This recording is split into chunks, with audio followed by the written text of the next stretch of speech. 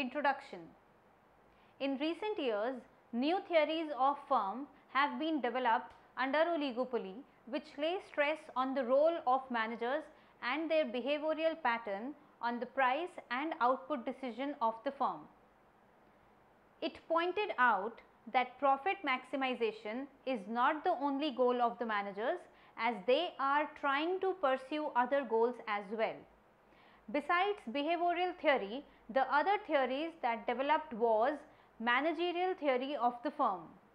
The three theories of the firm which have been developed in the recent years are managerial theories of Williamson, Marris and Baumol. Baumol propounded a model of sales maximization in his book Business Behavior, Value and Growth.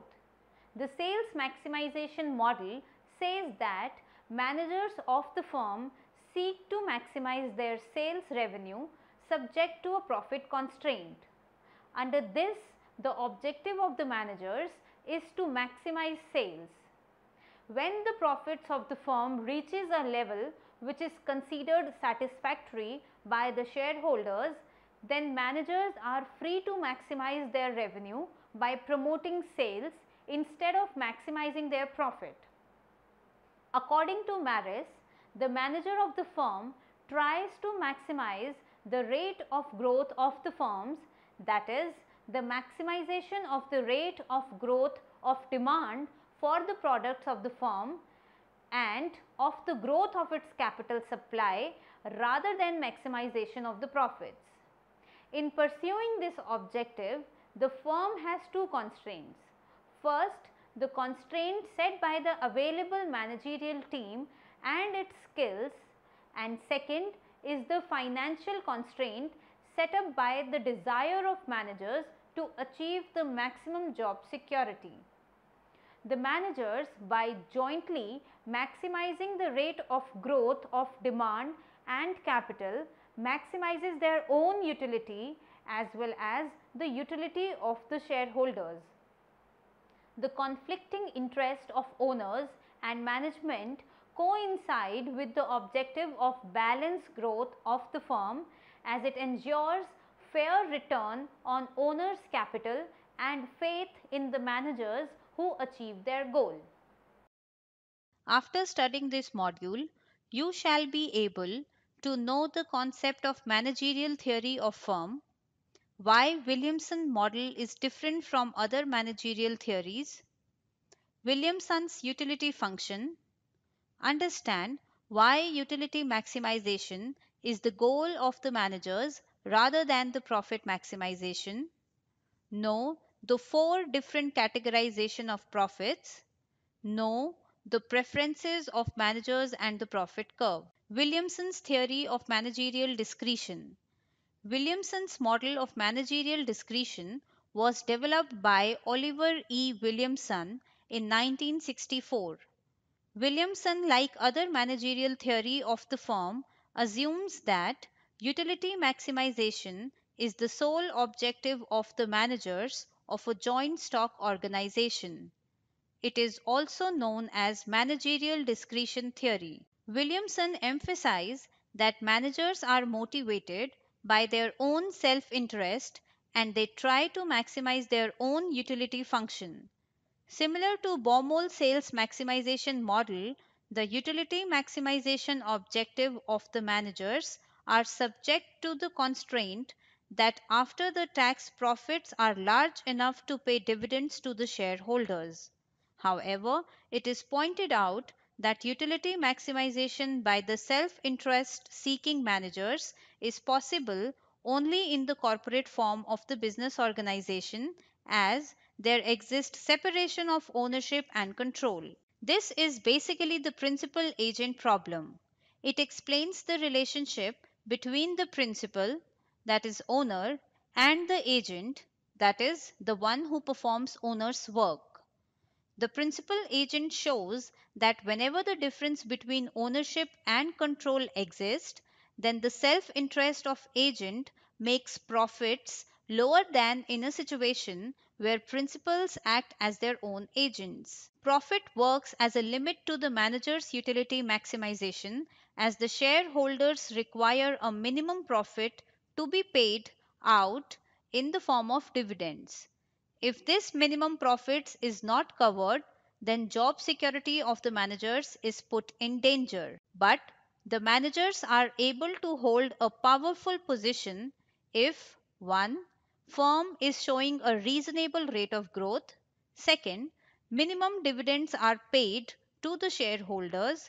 And third, profits at any time are at acceptable level. Hence, in Williamson's model, the manager's decision on price and output differs from the manager's decision on price and output of profit maximization firm. Assumptions The Williamson's model is based on some assumptions. These are first, imperfect competition, second, separation of ownership and management, third, a minimum profit to be able to pay to the shareholders. The factors that affect the interest of the self-seeking managers are A. Salary and other form of monetary compensation. B. Management slack or non-essential management perquisites. C. Number of staff under the control of a manager. D. Magnitude of discretionary investment expenditure by the manager. Let us study them in detail. A. Salary and other form of monetary compensation. The salary and the other form of monetary compensation is one of the most important factor in determining the utility of the managers. Higher the income the managers receive, the better is the standard of living and status. So, higher the salary and other monetary compensations and perks, higher is the utility of the managers. B. Management slack or non-essential management perquisites. The second factor that is determining the utility of the managers is the amount of management slack. The management slack consists of non-essential management perquisites such as well-furnished office, luxurious cars, entertainment expenses, etc. These perks are giving the incentive to the managers to enhance their status and prestige in the organization, which in turn contributing to the efficiency of the firm's operation. These non-essential perquisites are also the part of the cost of the production of the firm. C. Number of staff under the control of a manager. The third factor that is determining the utility of the managers is the number of staff under the control of a manager. The greater the number of staff under the control of a manager, the more powerful is the manager. More staff under manager enhances his status and prestige.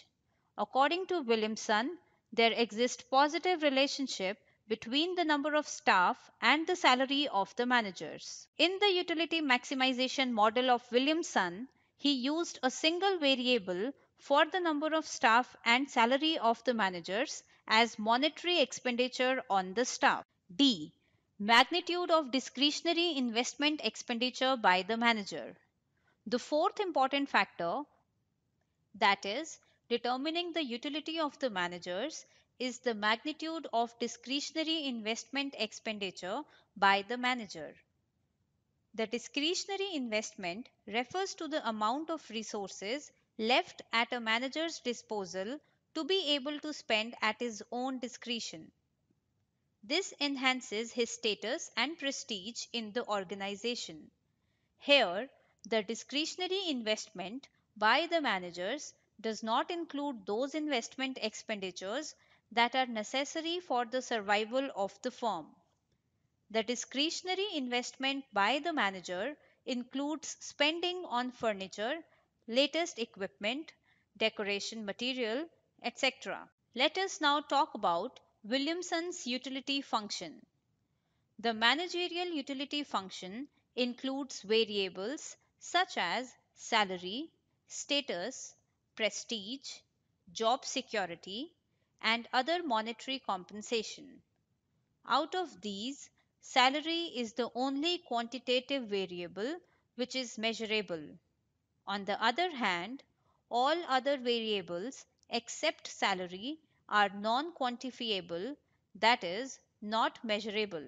In the utility maximization model of Williamson, he used a single variable for the number of staff and salary of the managers as monetary expenditure on the staff. The utility function of managers is a function of salary, monetary expenditure on the staff, and the discretionary investment. U is equals to F1 bracket starts capital S comma capital M comma capital I D bracket close where U is utility, capital S is monetary expenditure on the staff, capital M is the management slack, capital I D is discretionary investment. Here the variables expenditure on staff salary, management slack, and discretionary investment is used as the unquantifiable concepts like power, status, job security, dominance, etc. The variable expenditure on staff, management slack, and disinvestment can be assigned some nominal values there exists a positive relationship between the decision variables that is capital S, capital M and capital I D and utility. Any increase in the decision variables increase the utility of the managers. But the firm always choose their values subject to the constraint S is greater than equals to 0 and D is greater than equals to 0. Williamson also assumes that the law of diminishing marginal utility applies so that when additions are made to each of the decision variables S, M and ID, they yield smaller increments to the utility to the manager. Demand curve is negatively sloped. Moreover, under Williamson's model, the demand curve faced by the firm is downward sloping. The demand function can be written as Q is equals to F2 bracket capital P comma capital S comma capital E bracket close. P is equals to F3 bracket starts capital Q, comma, capital S, comma, capital E, bracket close, where Q is the output, P is price, S is staff expenditure, and E is the demand shift parameter reflecting the autonomous changes in demand. Demand curve is negatively sloped implies a negative relationship between price and quantity. That is, delta P divided by delta Q is less than 0. As price increases, quantity decreases and as prices decreases, then quantity increases. It is also assumed that the demand is positively related to staff expenditure and to the demand shift parameter E. Thus, delta P divided by delta S is greater than 0 and delta P divided by delta E is greater than 0. Any increase in staff expenditure causes an upward shift in the demand curve and thus allow the charging of a higher price. The same holds for any other change in the demand shift parameter which shifts the demand curve upward. It may be an increase in income, change in taste in flavor of a good, etc. Cost of production. The total cost of production is assumed to be an increasing function of output. This can be expressed as capital C is equals to F4 bracket capital Q bracket close, where capital C is cost and capital Q is output. The total cost increases with the increase in the level of output that is delta C by delta Q is greater than 0. Concept of profit in the model.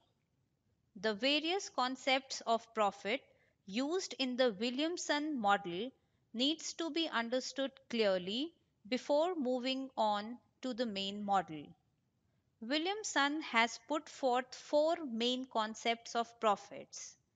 These are actual profit, discretionary profit, reported profit, and minimum profit. First, actual profit. Capital Pi. The actual profit is defined as the revenue from sales less the production cost and the staff expenditure. Capital Pi is equals to capital R minus capital C minus capital S, where capital R is revenue, capital C is the cost of production, and capital S is the staff expenditure. Second, reported profit pi r. This is the profit reported to the tax authorities. Reported profit pi r is the difference between actual profits and supplementary or non-essential managerial emoluments as represented by the management slack. It is the actual profit minus the managerial emoluments M which are tax deductible. So, pi r is equals to pi minus capital M is equals to capital R minus capital C minus capital S minus capital M. Third, minimum profit pi 0. Minimum profit pi 0 is the amount of profits after tax which is required to be paid as acceptable dividend to the shareholders of the firm.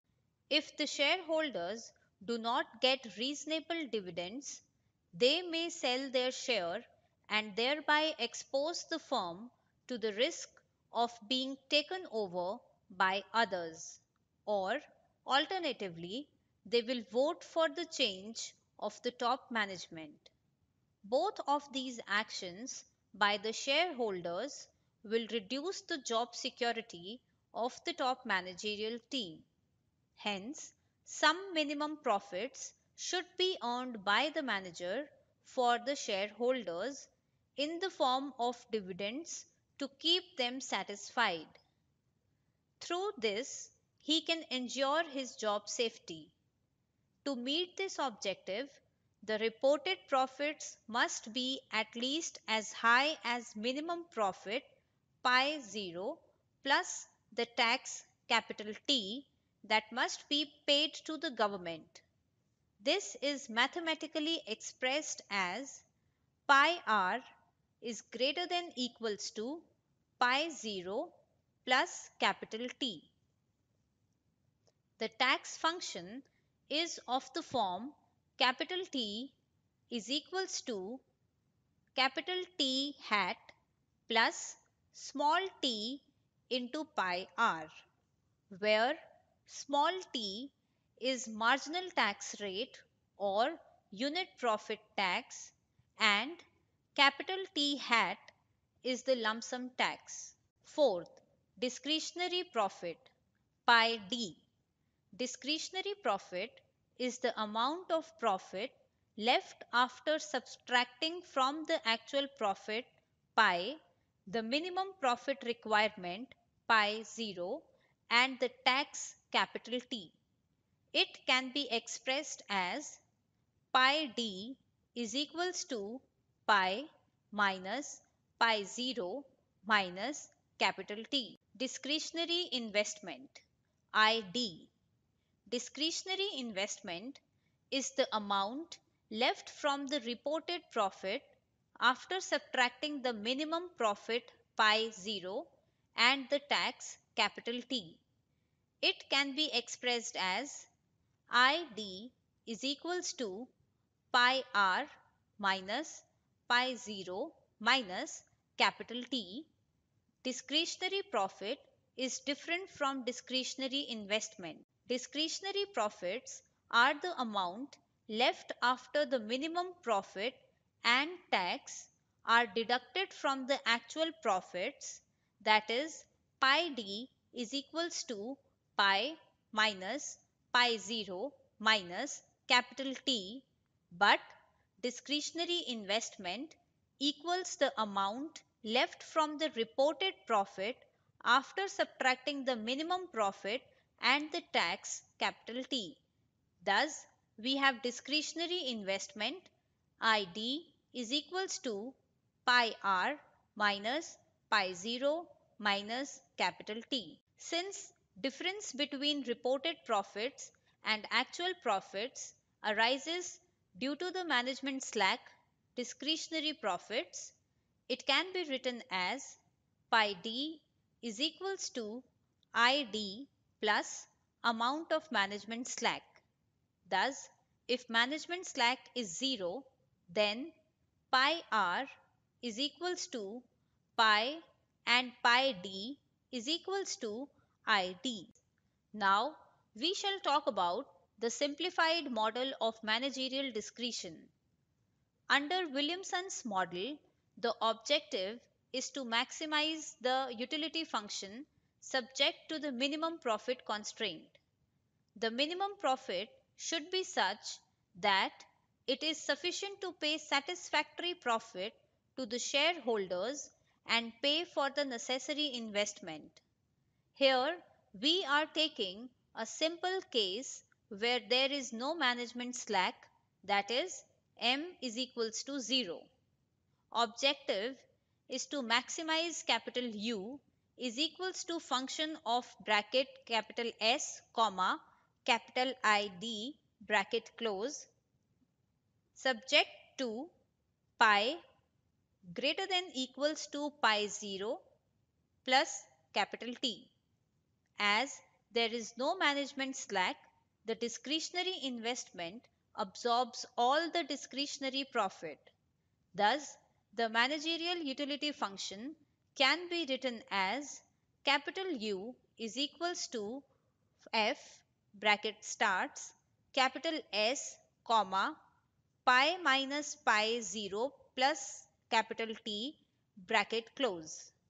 Here, we are also assuming that there is no lump sum tax that is capital T hat is equals to 0 so that capital T is equals to small t pi.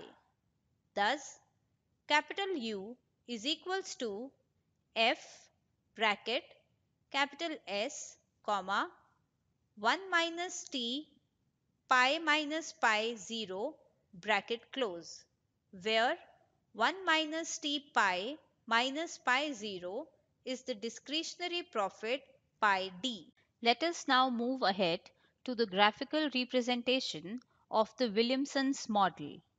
The graphical representation of the equilibrium of the firm requires the construction of the indifference curves map of the managers and the profit curve.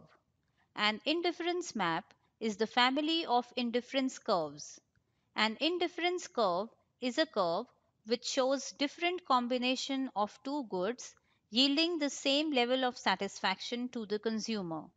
In other words, it identifies the various combinations of goods among which the consumer is indifferent. Consider the figure. Hence, the indifference curve under Williamson model shows the relationship between monetary expenditure on the staff and the discretionary investment. These are the two variables that are determining the utility function of the managers. The indifference curve is shown in figure 1 where staff expenditure is measured on x-axis and discretionary profit on y-axis. Each indifference curve shows various combinations of staff expenditure and discretionary profit which gives the same level of satisfaction to the managers. It is assumed that the indifference curves of managers are of well behaved. Indifference curves are downward sloping. They are convex to the origin, implying diminishing marginal rate of substitution of staff expenditure and discretionary profit. Two indifference family of indifference curves can never intersect each other. Higher the indifference curve, higher is the level of satisfaction. The indifference curves do not intersect the axis. The indifference curves do not intersect the axis. This is very important property and need to be explained properly.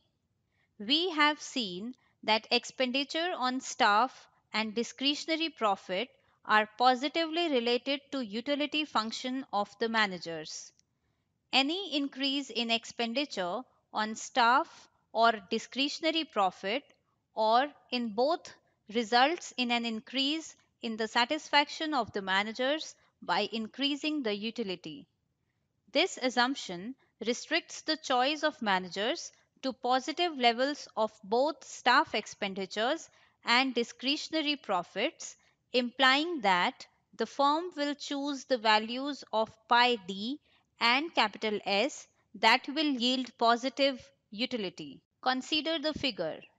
If the indifference curve do not intersect the axis, then the model excludes the corner solutions such as points A, B, C, D, etc., where discretionary profits would be zero in the final equilibrium of the firm. We have derived the indifference curve of the managers and have seen that they are well behaved. Now, let us determine the profit function and then the equilibrium analysis of the firm. The relationship between capital S, comma, staff expenditure and pi d discretionary profit is determined by the profit function. The profit function explains the relationship between profit and output we have seen that output is a function of price of product, expenditure on staff, and the demand shift parameter. Thus, the profit function is a function of price of product, expenditure on staff, and the demand shift parameter. Capital pi is equals to F capital Q is equals to F bracket capital P comma capital S comma capital E bracket close where capital pi is profit, capital Q is output, capital P is price, capital S is expenditure on staff, capital E is demand shift parameter reflecting autonomous changes in demand. The profit function which explains the relationship between pi 0 and capital S is represented in the figure. We can see from the figure that profit curve initially rises, reaches a maximum and then falls thereafter as the level of production increases. It starts increasing from point A, reaches the maximum at point B and then starts falling and becomes negative after reaching point C. So, initially, both discretionary profits and staff expenditures increases with the level of production. This increase continues till the maximum point on the profit curve. Beyond point B, where with the increase in production profit curve starts falling, staff expenditures continue to increase. If these expenditures continue to increase and exceed point C, then the minimum profit constraint is not satisfied. So, the region before point A and to the right of C are not feasible solutions.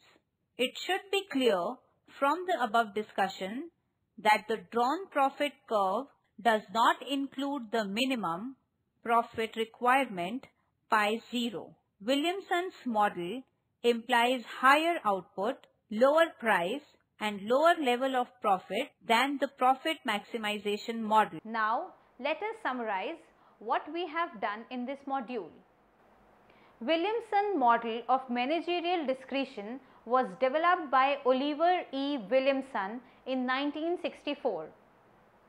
Williamson, like other managerial theory of the firm, assumes that utility maximization is the sole objective of the managers of a joint stock organization. It is also known as managerial discretion theory. Williamson emphasized that managers are motivated by their own self-interest and their tries to maximize their own utility function. Alike Baumol, sales maximization model, the utility maximization objective of the managers are subject to the constraint that after the tax profits are large enough to pay the dividends to the shareholders. However, it is pointed out that utility maximization by the self-interest seeking managers is possible only in the corporate form of the business organization as there exists separation of ownership and control.